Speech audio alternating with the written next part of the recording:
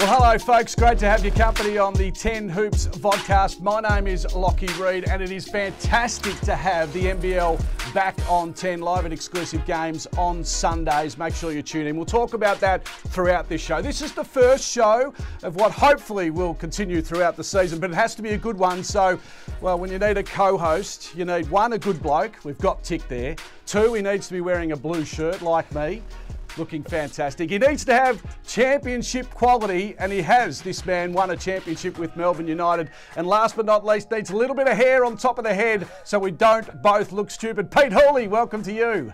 Oh, I was loving that intro, Lachy, until the very end. Because the very end, I don't know how long I have left. I'm hanging on for dear life. My sunroof is really starting to open up on top. But again, we can just call this the twin vodcast in the future if I end up having to get rid of it all. But it's great to be here. Plenty to talk about. We'll have a lot of fun. So much to talk about, mate, but also nice to rewind the clock a little bit. Channel 10, of course, uh, covering the games on Sunday. Everyone will be able to see live on 10 and also live on 10 Bold. Uh, nice to, as I said, rewind the clock and have a bit of basketball on free to air it's awesome. I mean, it's great for the league and it's great for our sport as we continue to grow all around the world. Everyone's eyes are on Australian hoops, and that's why it's it's so good to be here and part of the NBL. And it actually had me going down memory lane. I was on YouTube this week looking at old Channel 10 footage, some of the interviews. There's an interview there with Lanard Copeland. It's one of the worst interviews I've ever seen. I'm sure you'll get Copes on here at some stage, but those memories, the nostalgia, it's great because that's what we all grew up with. All right, we will rewind the clock throughout the show and for the rest of the season. Uh, I want to talk about Southeast Melbourne because it's the first show and quite topical that they said goodbye to Mike Kelly. Your thoughts off the top on uh, the sacking of Mike Kelly? Yeah, I think it was inevitable. Normally, in any pro sport, when a team's struggling 0 and 5, uh, they try and turn things around on the court with lineup changes, which is what we saw from Mike Kelly last round. He tried to bring Nathan Sobey off the bench, and they didn't get the win against Brisbane. And normally, when a lineup change doesn't work, the next thing to go is normally the head coach. So uh, I think normally coaches are the fall guys. It's I don't like. I don't could never be a head coach for that reason. If a team wins a championship, it's all about how good the players were. But when they inevitably struggle, it's all about the coach. So normally this something has to give, and it is Mike Kelly. But I think there's still many positives left for the Phoenix this season, and hopefully they can turn it around. So Slam and Sam McKinnon's going to be the interim coach. Do you think he's a chance of staying in the role? I do. I mean, anytime an interim coach takes over now, you look at recent history, you have to give them a chance, right? Last year, the Illawarra Hawks, as some people have said, were in a potentially worse situation than the Phoenix, where you look at how the season was going, even the one prior to that, they only won three or so games. Justin Tatum took over. He led them all the way to a top four spot and really a half away from a championship series. And then he is now the coach for three years. So if Sam McKinnon turns this thing around and they make a charge for the play-in tournament and beyond, then if you're the club, the Southeast Melbourne Phoenix, Tommy Greer, Simon Mitchell, you got to sit there thinking, well, maybe we found that guy. Look what he's done. Let's check in on Sam because he spoke during the week and uh, we asked him whether he wanted to be the full-time coach. And it kind of it's a bit of the nature of the beast, right? When you're a coach, you know um, this is part of it. It's really hard. Like Mike has been a very friend of mine. He's my my son's godfather. Um, but Mike, the type of person he is, we spoke on Sunday and um, he wishes me all the best and, and, wants the best for the club still. So someone I'll still look to for advice and um, yeah, just get on with it. Uh, look, I've spoken to the playing group about the, the position I'm in. I'm going to own the position right now and do the best to lead them, be a, a strong voice, be a supportive voice, but also kick them in the butt when they need it. So um, that's my role, and as I said, that stuff will take care of itself.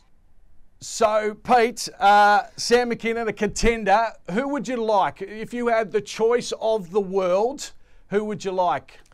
Oh, the choice of the world's tough. You've got to know who's available. But, but also, as an interim coach, if anybody's asking an interim coach would they like the job, I'd love to find the interim coach that says, no, I'm just here. I'm just here chilling. I'm here doing my thing. I'll get continue to get paid. Every interim coach knows it's an audition. But if I had to pick someone out of some of the names that are in the in the basketball world, Phil Handy's one for me that I think you'd have to look at, especially with the roster the Phoenix had. They're guard heavy. We know he's had exceptional relationships with, with Kobe Bryant, with Kyrie Irving, uh, ex Lakers assistant. He's been around the traps in the NBA for a long time, won three NBA titles. I'd be picking up the phone to Phil Handy saying, What does it take to get you here? Now, It may take some sort of GoFundMe. We can, we, you and I can figure that out, Lachy. We can get a GoFundMe yep. for a man of his caliber. But there's other names like Will Weaver floating around, Chase Buford, who's a current Kansas analyst because he went to school for Kansas as a Jayhawk. There's those names who I think could really step in. And again, it's going to be hard to get a, a coach of Trev Gleeson out of the Chiba Jets now, so they might have to put that one aside. But there's still plenty of candidates out there. Uh, Japan's also becoming a bit of an issue, isn't it? Because they've got so much money, haven't they, to spend on those really good coaches. I mean, Andre Lemanis, uh, you've got Shawn Dennis over there, I think, uh, and also you mentioned Trevor Gleeson. So is that a bit of a concern for Australian basketball that we might just struggle to get those really good coaches? Uh, I think it's always going to be looked at in, as somewhat of a worrying sign just because of not just coaches but players as well. But I think the beauty of the NBL now is we get players who come in, and we'll talk about Montrezl Harrell, those ones who want to get to the NBA, whether they've had a chance there and been injured or fallen out of the system. They know that there's more eyes on the NBL in terms of that pathway to the NBA than perhaps the, the Japanese league. And for a guy like Montrezl Harrell, you saw when he touched down in the NBL. I don't think money's an issue for Montrez. This man had my entire life savings around his neck uh, in chains, so I think that it's all about what he can do on the floor in a, in a proven league. But uh, I did hear that perhaps you you floated to Japan about going over there and doing some reporting, so maybe that you're trying to get a big payday too, Lachy. I don't blame you. Yeah. Yeah, not enough money for me over there, to be honest. 10 or 10 pays really well, Pete. Hey, um, uh, this is my first of hopefully only a couple of Wildcat related uh, issues that I'm going to talk about. Jacob Chance is a young man who's been around the system. He's been under probably three of the best coaches in the competition in Trevor Gleeson over at the Perth Wildcats. He joined the Jack Jumpers with Scott Roth and now he's at Melbourne United, probably under the best coach in the competition in Dean Vickerman. He's had eight years of straight playoffs and only missed the grand final twice. Uh, do you give him a crack? Do you at least give him a phone call and see whether he's ready to go?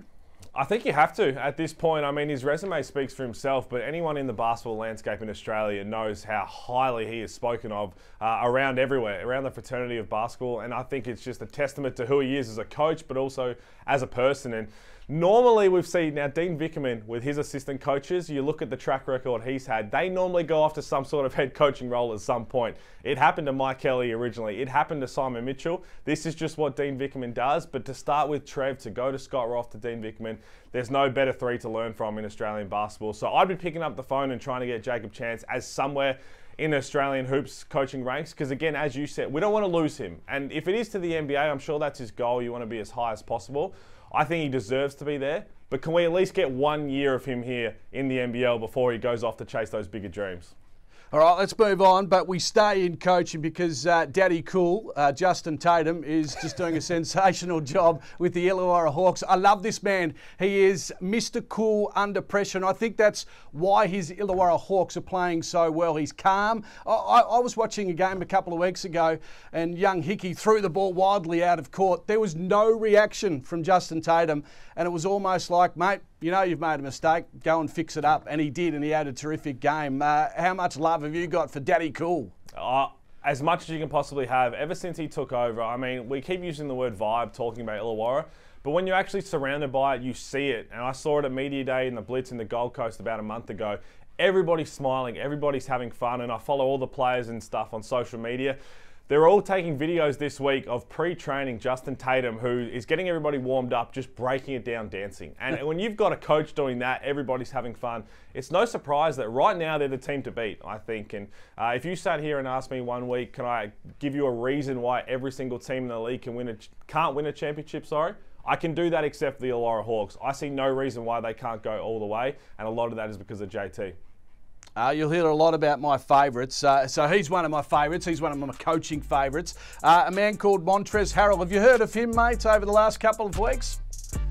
Yeah, it's incredible. uh, again, he is so much fun to watch. I was down in Adelaide last week calling the game against the Sydney Kings, and the way that he engages with the crowd, the way that he engages with his team, with the city of Adelaide, it is so good for the league. It's great for the club, and not often do you have a former NBA Six Man of the Year chanting "Hungry Jacks" on missed free throws, trying to get the kids in Adelaide some free burgers.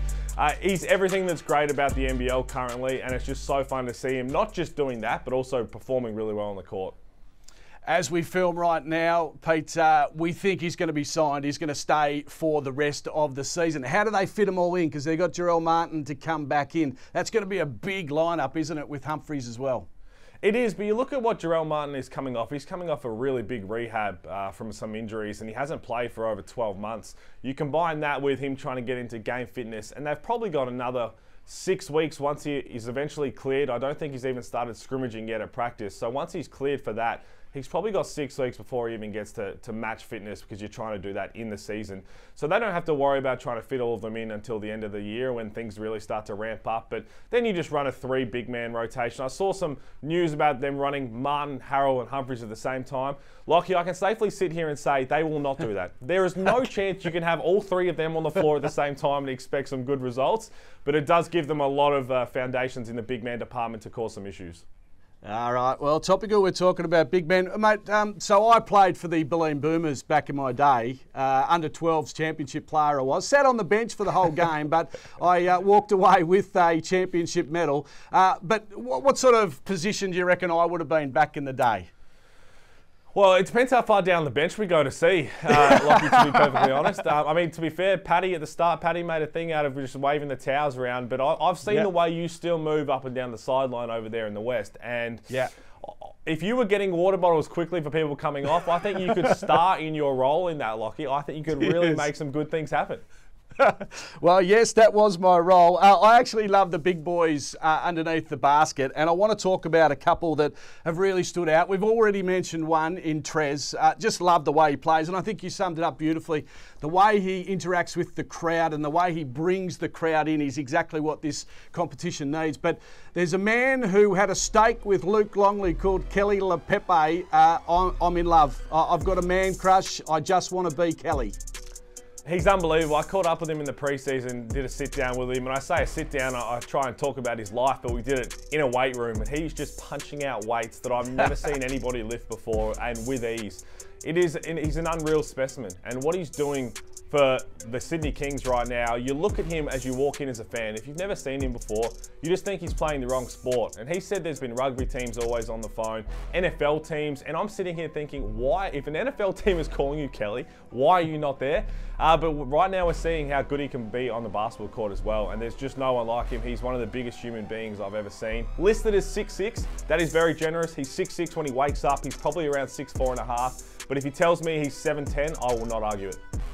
So when we're talking about Keli, when he first came to the competition, I was thinking maybe an eight or nine man on the roster will maybe get a bit of a run every now and then. But he's in their starting five. I think he comes off a 10 and 10 or something like. Well, he certainly had a double double in his last uh, performance. Uh, this has been quite impressive, and he's actually keeping Oliver out of the starting five at the moment. I think it's what was needed for the Sydney Kings. You look at their, their talent, and right now they're still trying to figure out rotations. They're 12 deep. I think they played 12 guys in double figure minutes in that loss to Adelaide, which is just outrageous when you think about the rest of the team's rotations. But you need glue guys in a starting unit. And Gorge has that full trust in a rookie, which is outstanding. Of you're just going to go out there and do the dirty work. And he nearly tried to keep Sydney in it when they were down 15 to 20 in Adelaide with just hustle work. He's throwing his weight around. And also, there's always going to be some chirpiness. And as soon as there's chirpiness, he's the first one in there. And all of a sudden, that chirpiness is gone. If I see Keli running up there to try and separate me, I'm running the other way as quickly as possible. Absolutely. Uh, that brings me to just a little segment I want to do, and I just make up things as we go.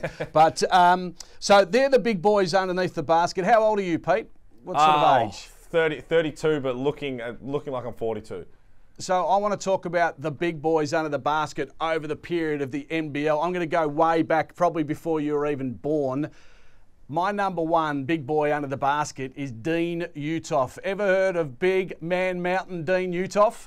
Absolutely. Got a lot of records as well. When you look at the statistics, he was a mountain to be reckoned with. And uh, I, I, like, I had a feeling you were going to go down that route because he continues to be brought up when we see guys like Trez and, and uh, Keli Leaupepe in terms of big man ranks. All right, and my number two, uh, Mika.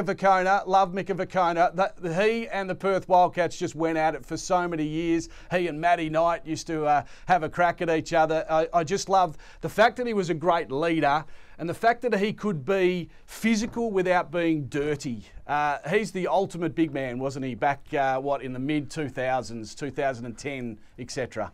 he was the tone setter uh, for the Breakers, and I managed to play against him a couple of years before he retired. And he was one that you had to have a unique scout about because you knew he might try and antagonise people, knowing they weren't going to retaliate to him, and he was going to do everything he can to make sure he gets a win. And uh, if you went back and did an all-time starting five of the best and most important glue guys in NBL history, he's in that mix. He's on a Mount Rushmore for that because he'll go down uh, in the history books for exactly what he did well. And uh, yes, okay, this is, I think, number three Wildcats. Uh, sorry, uh, I had to bring it up, but uh, the nastiest man ever underneath the basket had to be Andrew Vlahov. And he wouldn't mind me saying it that he did play a little bit of dirty stuff. Uh, he and that Scott Fisher, they were mongrels around the basket. I remember a story from Peter Crawford when he came over to Perth after moving from Tasmania. And he said, as an 18 year old, when he was playing for the Crocs, he said, I was actually scared to dribble inside the key because I knew if Fisher didn't get me, Vlahov would finish me off. Uh, he was a, a beast, wasn't he? He was awesome. And again, just looking at some of the old highlights of him, and that's exactly what he did. And those kind of players are so unique, but that's also what helps teams win and organisations build. And uh, that's exactly what he brought. He's not a big man, but I had the same fear with Damian Martin in Perth. He, he was the way he would throw his body around because I know that I dislocated a couple of fingers trying to guard Damo or getting in some sort of scrap. I needed the physio to put my fingers back in. Damo had already popped his out twice and put it back in in the same play. Uh, that's a different level of toughness. But in terms of big man that I was fearful of having to go against. I got cleaned up on a terrace screen in Cairns by Nate Jawai, and I tell Oof. you what, you don't want to show any signs of pain when you're trying to get into the rotation and trying to play meaningful minutes.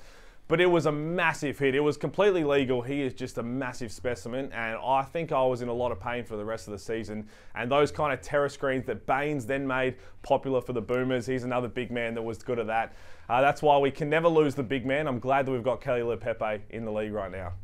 Absolutely, Pete. Nice summary of the big boys under the basket. Let's go back to last weekend's action. I want to go through some of uh, you know the starting five, the, the special plays that we had last weekend. I'll start with Trez because uh, this one was nice and handy through the middle of the key.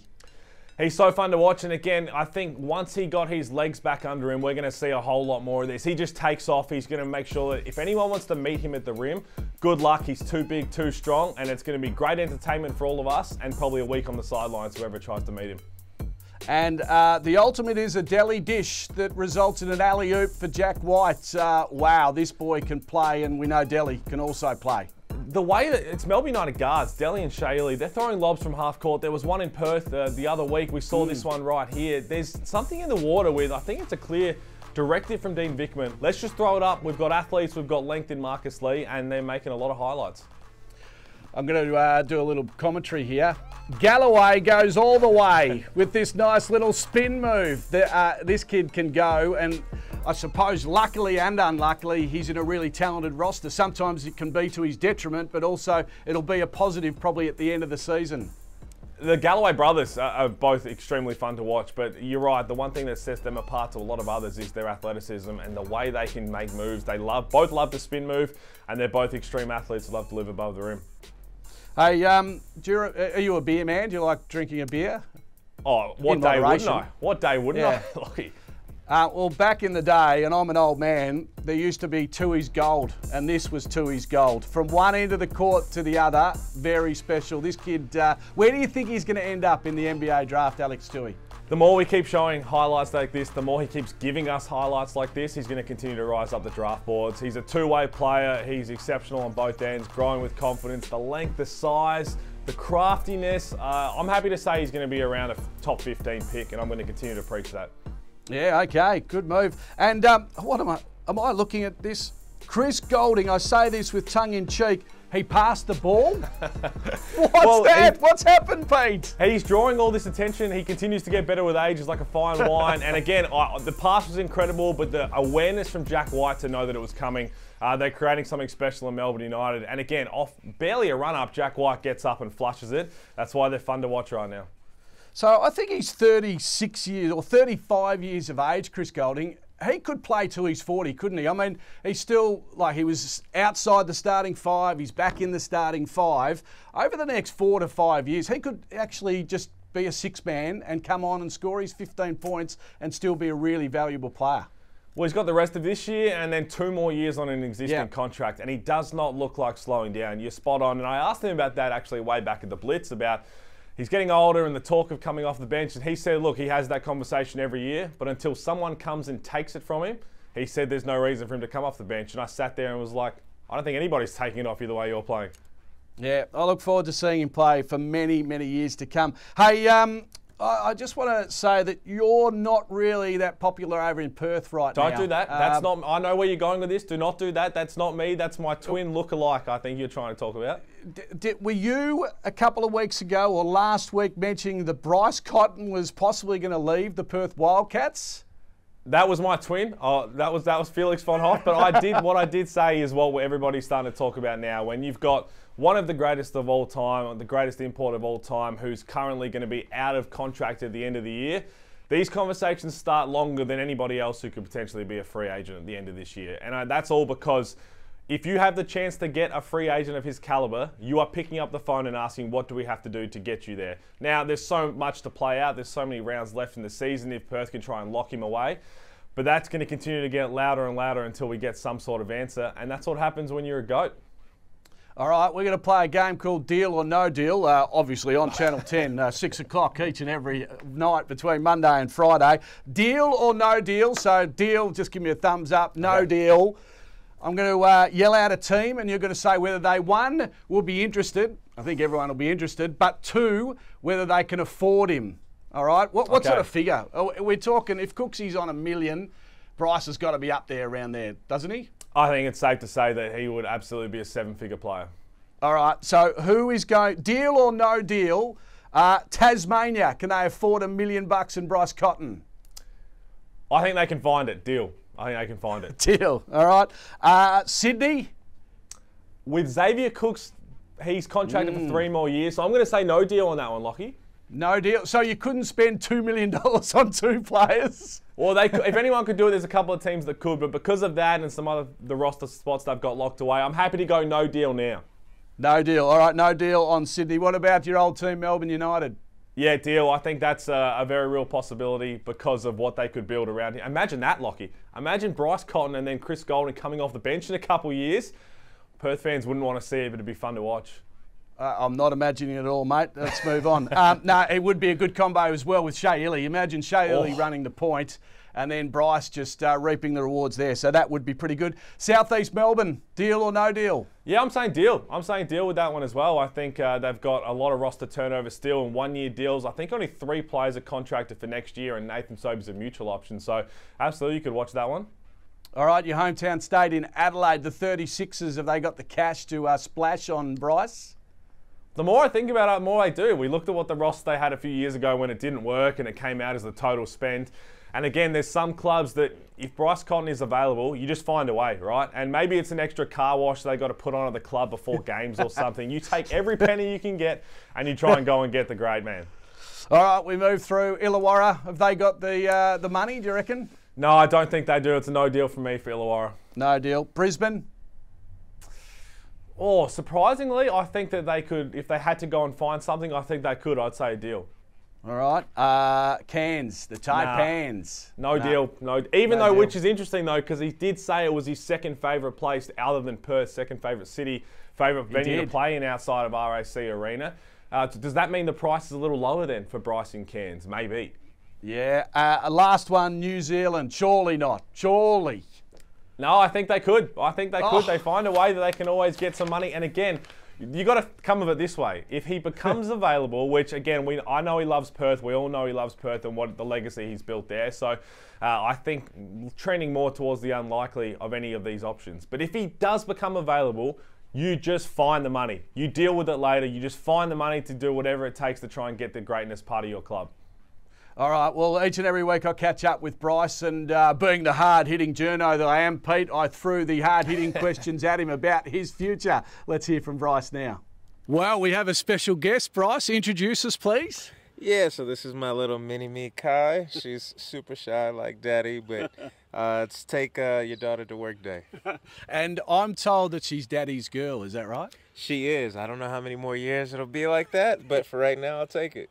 All right, mate. We have to talk about the big talking point, and that is Bryce Cotton is out of contract at the end of the season. Where are you at with your contract with the Perth Wildcats? Um, I mean, yeah, it's just that. But right now, I'm just trying to stay in the moment. Uh, we got a lot of work to do um, to keep treading in the right direction. So I'm just focused on the season, and then I'll worry about all that other stuff once the season's done. A lot of the NBL experts say that all clubs are monitoring you at the moment. I suppose we're not surprised by that at all. Uh, yeah, I mean, I, w- I would like to think so, just because that means I'm still playing pretty good basketball. But uh, I guess it comes with the territory. But yeah, just got to keep the main thing is the main thing. You love the Perth Wildcats, though. For Wildcats fans out there, probably hope to stay around a bit longer. I mean, of course, I love Perth, and you know, at the end of the day, this is home. This is her home, and no matter what, I'll always be in Perth, even when I'm done playing basketball. So that's the most important thing. Got the win on the weekend against Cairns, and I thought actually your two games uh, over the last week have been pretty good. Just couldn't get the job against the Jack Jumpers. Do you think things are turning around? Yeah, I think we're treading back in the right direction. Um, it also helps too that we're having guys back in the lineup. So as long as we can stay away from the injury bug, it's uh, it allows us to see where we where we really measure up against teams. And New Zealand, of course, is a team that is coming off playing in the NBA and being overseas. Is that a maybe bonus for you, the travel factor? Uh, I'm not sure. I guess we're gonna find out. But we got quite the trip ourselves. I think we get in at 1 a.m. Uh, and have to play later on that day. So uh, we're all going to have to lock in both sides of the coin. Tell us about the season so far. Are you happy where you are progressing? And now that you probably get Windler back and you get Webster back on a more permanent basis, things are starting to roll? I would say so. Um, I think having Windler back in the lineup and, of course, Ty, as long as we can keep those guys healthy, and then the same thing with KP I think we'll be all right. And, you know, history has shown us, at least throughout the preseason, we play very well when we're at full strength. All right, I've got some questions for you. Uh, some just different ones to just basketball. I want to know from you what is your best game you've ever played? We've saw, seen 45 points in a grand final, but is there a game, even as a kid, where you absolutely smoked it? Yeah, uh, in my mind, I think it was a summer league game in like grade 10. Uh, I had about 50 points, but the scorekeepers were pretty bad. But I was good at keeping track of my own points, so might have been off by a point or two, but I think that's what I had. So 50 pieces your best so far? Yes, to yeah. my knowledge, yeah. And what about a player around the league? I'm really enjoying Keli Leaupepe at the moment. I just love the way he plays. Have you got a player that you sit on the couch and watch and go, oh, he's fun? Um, I think for me, just because you know I'm one of the smaller guards, I enjoy watching Crawford. You know his ability to get to different spots on the floor and the moves he comes up with on some of the bigs that guard him in the paint. Uh, it's, it's, pretty cool to watch that. Well, that's why you're the best in the business, Lachy, because you've got to ask those questions. And again, the nerves from Wildcats fans, they're going to continue to build as the season goes on, but they shouldn't, because if Bryce leaves, I found this little gem from 20 years ago this week of a certain member trying out for the Wildcats. Have a look at this. A 4 and 1 winning record, but still searching for that missing link. I need something more. Lachy, can you help me? I need you. The coach's call to arms. Wildcats. How could a passionate Wildcats man turn his back on the team in this time of need? And if new import Rosell Ellis has been slow to find his feet, spare a thought for this rank amateur. The coach obviously having second thoughts just minutes into my maiden session. Have they stopped? Hey? We've stopped, haven't we? Ah, speed, just. The puffing and panting would continue, my skills going from average to really bad. Hey man, who's that cat coming down the street? I don't know, but it sounds to me like that Griffin man with the bone. Sure having himself a ball. How are we, Locke? Oh, I'm knackered. Oh, yeah. Well, what I'm about to die, Ricky. Oxygen? I tell you what, there'll be no mouth to mouth. Come on, mate, just no slap it on. As a family man with children, you should probably take a, a greater look at your fitness. Um, I'm sure they'd like to have you around a lot longer than you're heading. An honest opinion, and believe it or not, that was just the warm up. If only you didn't have to run in basketball. One thing I did work out my most comfortable position is left right out. The beach was the place to be for a peek at the Warrior. Roselle Ellis a hit at Cottesloe for a photo shoot with the Sunday Times. My photo shoot, not a resounding success. The Cats marketing department might have something to answer for. Lachy Reid, 10 News. Now, I said they should be nervous at the thought of Bryce potentially leaving, but if that's their replacement, Lachy, I'd be even more petrified about what's going to happen with the club. That's uh, that's one of the poorest athletic performances I've ever seen. that was 20 years ago, mate. And I've got something in common with Rashad Tucker, who used to play for the Perth Wildcats. He had six triple doubles in one season. We both got sacked on the same week. he actually left the Perth Wildcats at the same time that I was dumped from the roster. Very disappointing. Hey, we can't uh, leave without one in a moment talking about uh, the games that are coming up on 10. But I want to, uh, seeing as though you've dug into the archives, I'm going into the archives, back uh, to this little beauty. Take us through this as this is you at college. Uh, a lot of emotion about it as well. Can you tell us about this game winning shot? Gladly. Anytime it gets brought up, Lockie, I'll be happy to talk about it. Normally it's saved for March Madness, but yeah, it's a 10 year anniversary next year in March for, for this moment for our school and we, our third consecutive trip winning a championship in our conference to go to the NCAA tournament. It came eight weeks after I lost my mum to cancer uh, back in 2015. So there was a lot of emotion, as you see, but the way it all panned out, and I continue to look at it and pick out these different moments that I can recall. And normally, after moments like that, you, you dream of hitting buzzer beaters and going out and celebrating with your team, especially in college where the celebrations are always big and they're fun to do. And I spend most of the night just crying about all the emotions that I've just been through and what just uh, transpired. But again, it's something that when people continue to bring up, I'll always be happy to talk about because it's always on the internet now, and that's the beauty of it. Uh, it was uh, it was a great performance. Well done to you, and I look forward to the book that comes out, Hooley and the Great Danes, uh, coming out soon. Is it bestseller?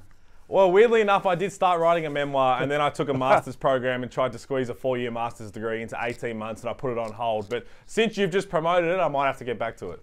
Yeah, get it out, get it out there. Uh, okay, let's talk about Channel 10's games coming up on the weekend. Uh, lots of action on Sunday. Melbourne United and Southeast Melbourne uh, get a chance to try and impress under uh, Sammy McKinnon. Uh, your thoughts on that game? The the throwdown always uh, a little bit interesting you've got to get to a TV or get to the stadium to watch this. You've got the throwdown, which continues to build, the rivalry that builds, and forget any recent history. A team that just sacks a coach normally have some sort of feeling going into their next game. One, to prove to all their fans that they're going to turn things around. But also as a, as a player, you get that little sense of guilt like, do we just cost our coach the job because we're not performing?